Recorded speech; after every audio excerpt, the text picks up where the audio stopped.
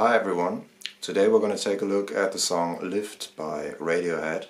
We are in B major. That's our first chord. Then we lift up our index finger, so we have an A in the bass.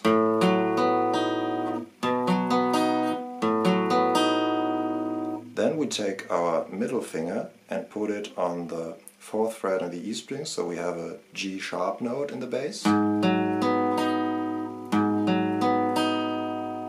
And then, finally, we go back to um, the B major chord, but we play the open uh, E string together with it. So we have. So um, those four chord shapes together go like this.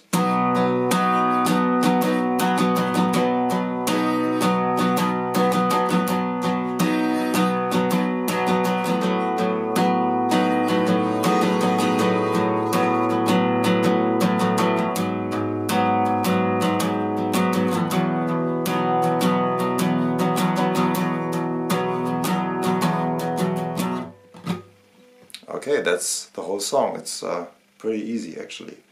Um, yeah, today I'm gonna do um, two more lessons, one for I Promise and one for Man of War. Uh, so yeah, thanks for watching and see you next video.